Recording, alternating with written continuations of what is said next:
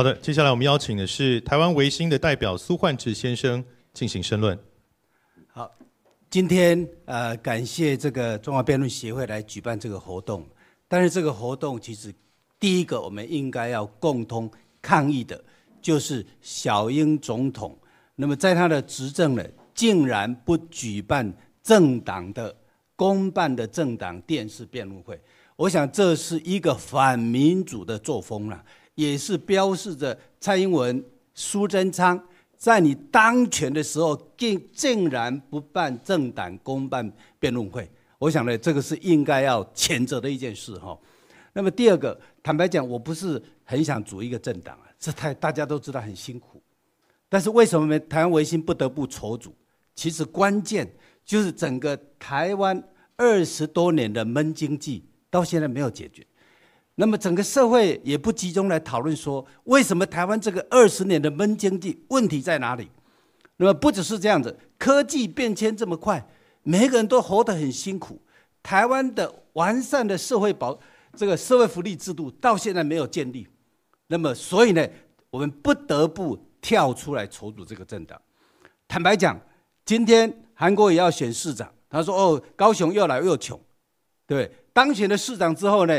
那么他现在要选总统，可是高雄，各位想想看，高雄那么多空屋，十万亿几兆的收入，政府税收多少？可是呢，这税收全部是中央拿走的。作为一个高雄市长，都没有站出来说，哎，为什么这个空屋这么严重？税收都没有留在高雄。各位，这个就是台湾维新第一个要推出的。现在的企业税、所得税，通通是中央拿走的税，这是一个中央独裁、集权、集税的体制啊！有民主投票，可没有实质的地方自治，每个地方苦哈哈，对不对？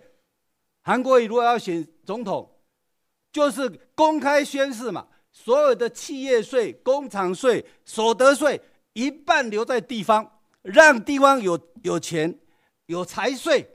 那么这样子才能够振兴经济啊！台湾搞了几十年的社区总体营造，如果没有政府的补助，所有的社区总体要中断了，对不对？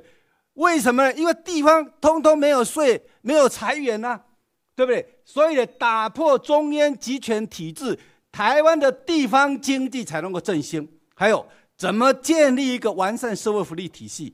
那么实力还有各政党也都很认真在推。我们就拿居住争议来说。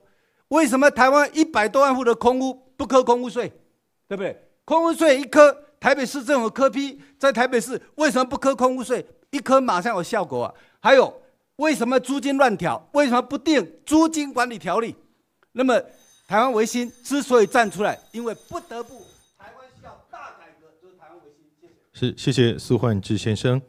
接下来，我们请时代力量的代表